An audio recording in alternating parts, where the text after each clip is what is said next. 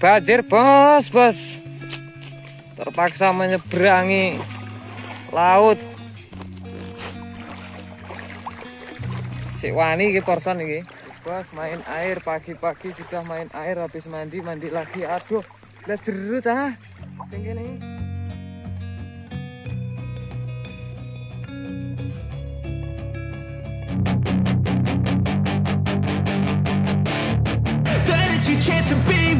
Hey kid, don't ever let them get inside your head.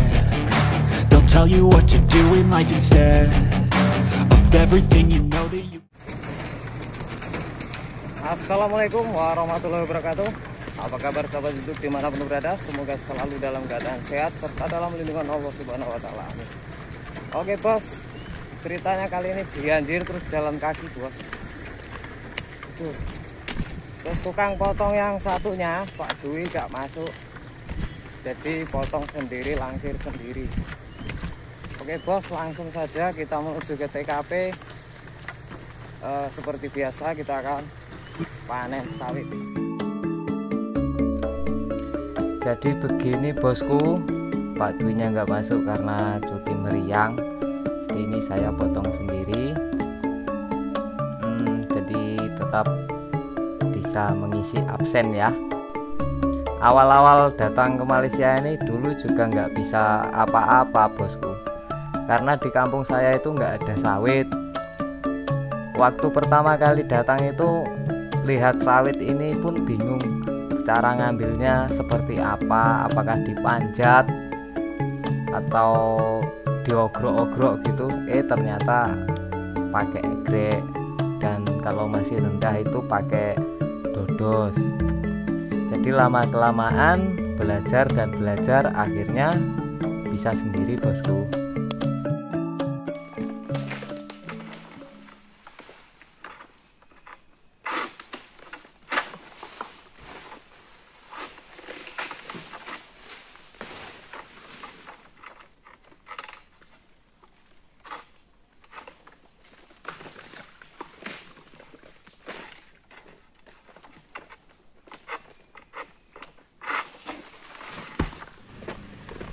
Ah, oke bos, baru selesai ngeluarin lasir buah sawit langsung dimuat. Jadi nggak ada ceritanya buah nginep di ladang. Pokoknya langsung habis. OTW pabrik. Nak Beni ini bos namanya bos. Yang muat itu bos. Pakai ban gede.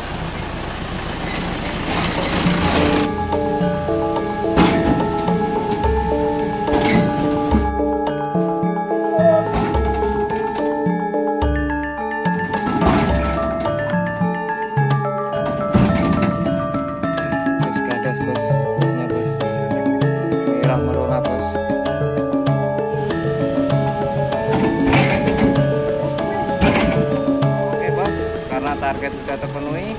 Jadi sampai di sini dulu. Sampai ketemu lagi di next video. Oke, wassalamualaikum warahmatullahi wabarakatuh. Aduh terpaksa bareng porson ini tadi bos. Ceritanya banjir. Sepeda motornya nggak bisa sampai ke ladang